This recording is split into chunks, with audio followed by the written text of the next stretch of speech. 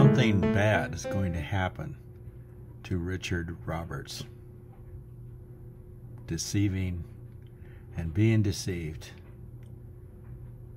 Healings, lying signs, and wonders. It's all over. Castaways Ministries. There are so many of them. Refusing to repent, despising the chastening of the Lord,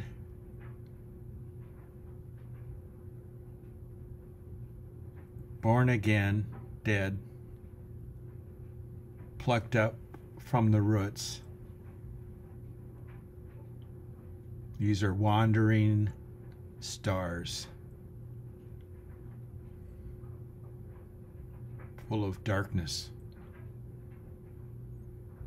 False teachers.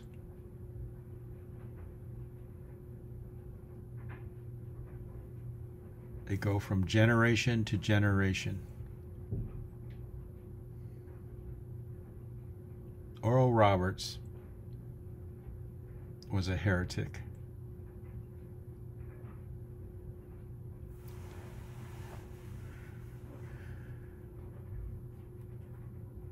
A. A. Allen was a heretic. William Branham was a heretic. Kathryn Kuhlman was a witch.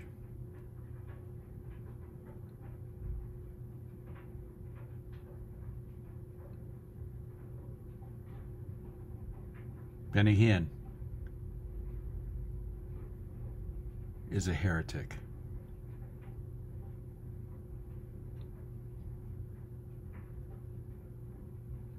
So there's a few names there that I've dropped. Some dead physically, some still alive. Jesus said, Go not after them. Many shall come in my name, saying, Lo, here is Christ. Which means, I am a minister of Christ. That's what that means. He says, Don't go after them. They promise healings, they promise prosperity, they are all found to be liars, speaking lies in hypocrisy, having their consciences seared as with a hot iron. They are reprobates in the faith. I hope this helps some of you direct your paths to the Word of God and not to false teachers.